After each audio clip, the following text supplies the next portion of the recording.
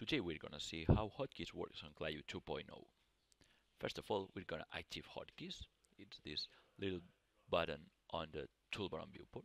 So I'm gonna click on it and clicking on it, it's gonna activate all commands by uh, our keyboard. So to make an example, I'm gonna select that face and I can change by points, edge, face and object selection with the keyboard with my numbers 1, 2, 3 and 4. So when I click 1, it's going to change to point selection mode. If I click 2, it's going to change to edge uh, selection mode. Click on 3, it's going to change by face. And clicking 4, it's going to select by object. Okay, at this point, we can also change the gumball with our keyboard.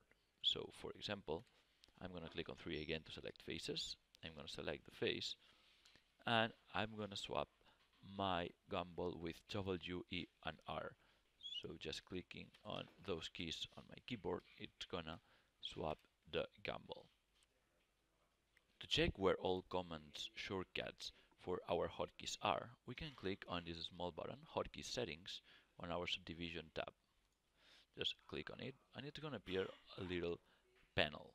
On this panel, we have all the commands with all shortcuts and the shift or control modifier.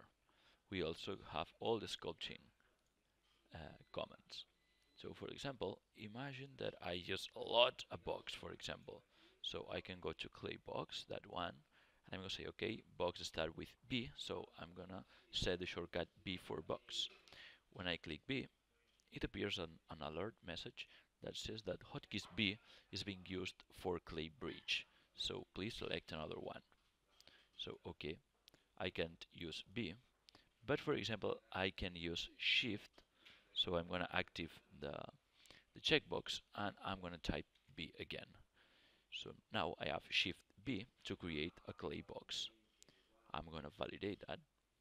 I'm gonna get rid of the torus and I'm gonna use my keyboard to type Shift B and it's gonna run automatically the command clay box we can change any hotkeys on the list or we can just use it for check it out what's the shortcut for the commands that we want to use. That's so useful because we're going to improve our speed modeling with hotkeys.